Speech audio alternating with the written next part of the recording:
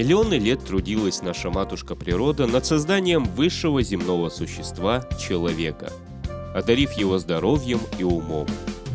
Но человек часто поступает неразумно, причиняя тем самым вред своему здоровью. Одна из вредных привычек человека – привычка курить. Наше здоровье – это наше богатство, дар природы.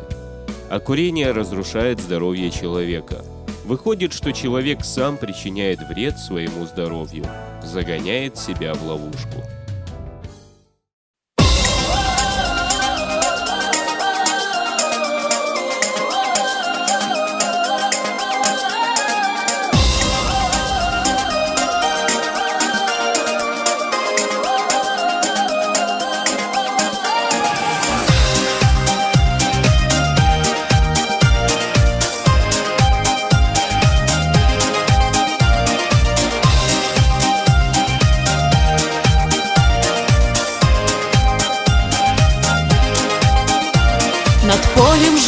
Бьется мотылек. Полет на слабых крыльях невысок. Напрасно мама просит подождать. Судьбу стремится юность испытать. А в небе звезды яркие горят. Влекут они девчонок мотылят. Как скучно им, что мама говорит и в небо юный мотылек летит Мотылек, куда же ты летишь? Погоди, ведь ты в огне сгоришь Беззаботно взлетая, жизни не зная Прямо в пламя угодишь Мотылек, куда же ты летишь? Погоди, ведь ты в огне сгоришь. Беззаботно взлетая, жизни не зная Прямо в пламя угодишь. Не думает девчонка-мотылек Что жизнь ее, как осень и листок Закружит яркий звездный хоровод. Когда бродяга ветер позовет Порхают молодые мотыльки. Сквозь ночи не летят на огоньки. Сгорают лишь пыльца в лучах блестит Но в небо новый мотылек летит. Мотылек, куда же ты летишь? Погоди, ведь ты в огне сгоришь. Беззаботно взлетая, жизни не зная Прямо в пламя угодишь Мотылек, куда же ты летишь? Погоди, ведь ты в огне сгоришь Беззаботно взлетая,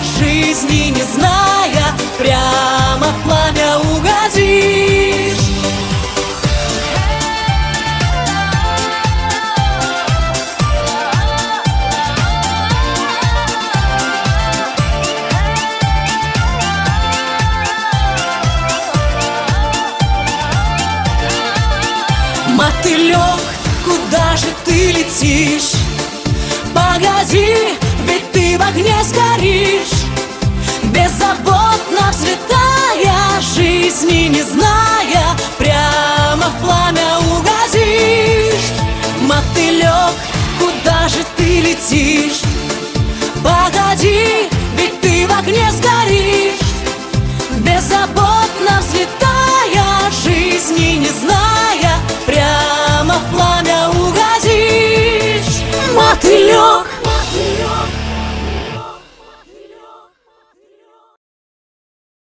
До 16 столетия Азия, Африка и Европа не имели ни малейшего представления о табаке.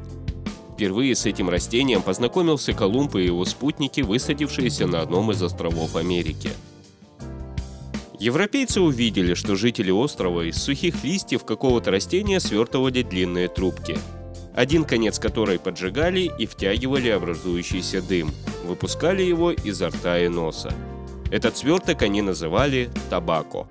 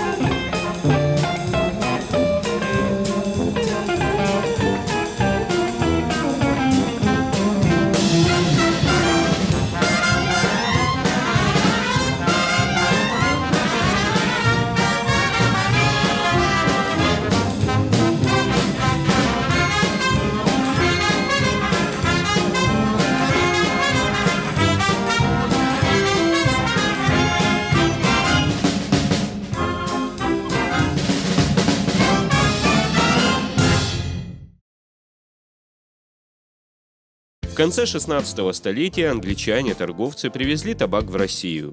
Однако вначале он не получил широкого распространения, так как из-за неосторожности курящих в Москве и в других городах часто случались пожары. Царь Михаил Федорович не только запретил курить табак, но и ввел различные наказания. Курильщиков ссылали в Сибирь, отлучали от церкви, а то и калечили – но несмотря на повсеместные жестокие расправы над курильщиками, табак продолжал победоносное шествие по земле. Оно не остановлено и до нашего времени. В те времена торговцы табаком распространяли слух о его целительных силах, якобы восстанавливающих и укрепляющих здоровье человека и повышающих умственные способности. Зажиточные торговцы устраивали специальные табачные вечера, пропагандируя новшества – Часто его употребляли просто из любопытства. Попробую и брошу. Так думали многие, но не подозревали, что уже после первой выкуренной сигары трудно было избавиться от никотиновой зависимости.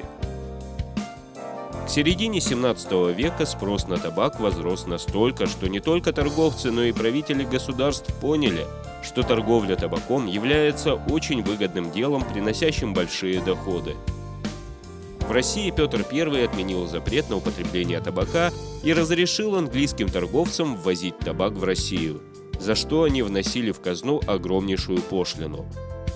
Постепенно преследование курильщиков прекратилось.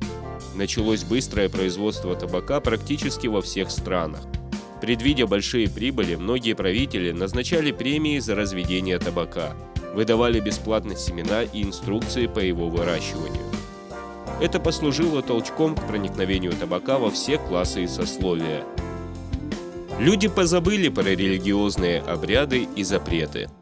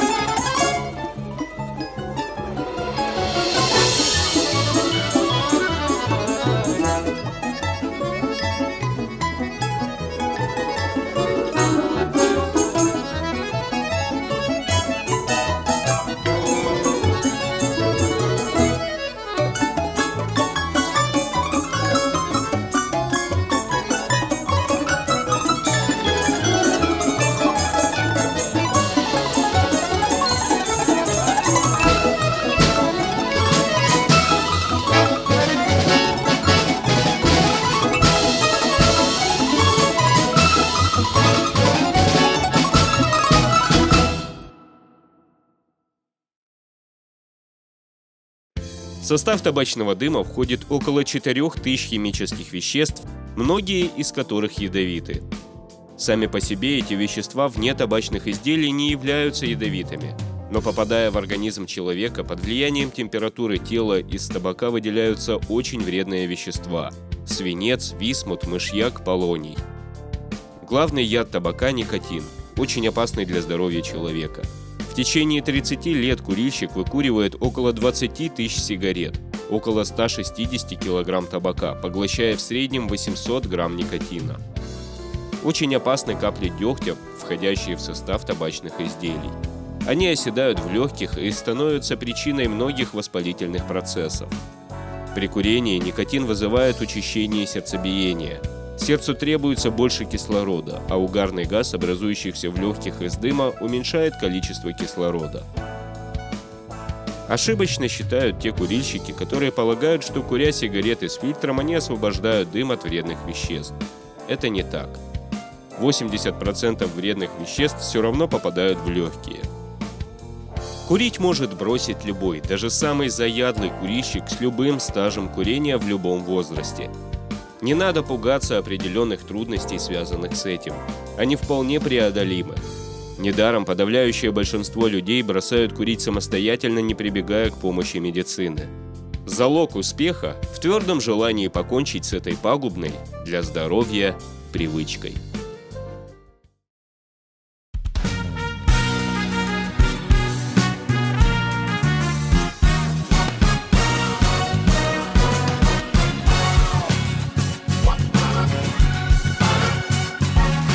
Где-то песня сочинилась И со скоростью ракеты В то же утро очутилась. На другом краю планеты Мимоходом